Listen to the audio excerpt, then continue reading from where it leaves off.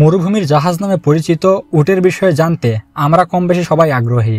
কেউ ভুলে মৃত উটের গায়ে হাত দিবেন না, কারণ এমনটা করলে বিস্ফোরণ ঘটতে পারে।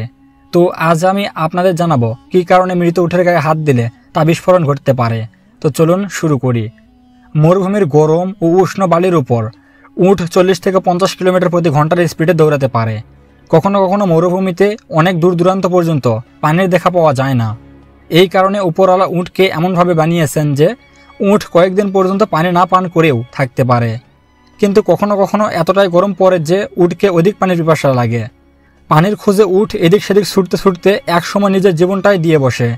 যদি আপনারা কখনো এমন উঠ দেখতে পান যে উঠ পানির পিপাসায় মারা গেছে, তাকে ভুলেও স্পর্শ করবেন না। কারণ এমন উঠ আপনার হাতের স্পর্শে একটি বোমের মতো ফাটতে পারে। এমনটা হওয়ার কারণ হচ্ছে উটের পিঠের উপরে একটি বড় জায়গা হয়। যেখানে উঠ পানি ধরে রাখে। কিন্তু যেই উঠ পানির খোঁজ করতে করতে এবং পানির পিপাসায় মারা যায়, তার শরীরে তো আগে থেকে চর্বি থাকে এবং পিপাসায় মারা যাওয়ার কারণে ও অধিক গরমে তার শরীরে সব চর্বি গলতে শুরু করে এবং যার কারণে উটের পেটে গ্যাস তৈরি হতে থাকে। এসব গ্যাস অনেকটাই বুদবুদ সৃষ্টি করে, যার কারণে মিথেনের মতো বিস্ফোরক গ্যাস তৈরি হয় এবং উটের শরীরে থাকা বাকি সব পদার্থও গলতে শুরু করে। এসব কারণে উটের পেটে বিভিন্ন প্রজাতির পোকামাকড় হতে শুরু করে। যা উটের পেটের ভিতরে বিস্ফোরক গ্যাস আরও বেশি করে তৈরি করে। এবং এই কারণেই উটের শরীর ও পেট অধিক ফুলে যায় এবং তা ফাটার জন্য প্রস্তুত হতে থাকে।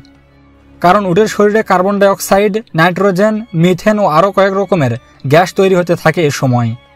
এরপর আবার মরুভূমির প্রচণ্ড গরম। রোদের তাপমাত্রা উটের শরীরকে আরও বিস্ফোরক করে তোলে। আর এই কারণে মৃত উঠের গায়ে হাত দেওয়া ঠিক না।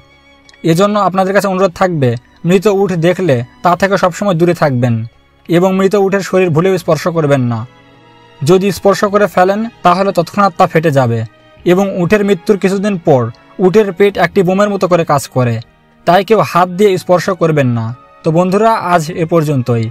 আপনার মতামতটি কমেন্ট করতে পারেন ভিডিও ভালো লাগলে লাইক করে দেবেন। আমাদের চ্যানেল নতুন হলে এবং আপনি যদি এমনই রহস্য রোমাঞ্চ আনকমন আর ইন্টারেস্টিং ভিডিও দেখতে পছন্দ করে থাকেন, তাহলে আপনাকে অনুরোধ করব আমাদের রহস্য চ্যানেলটাকে সাবস্ক্রাইব করে পাশের ব্ল্যাকনে ক্লিক করে রাখুন।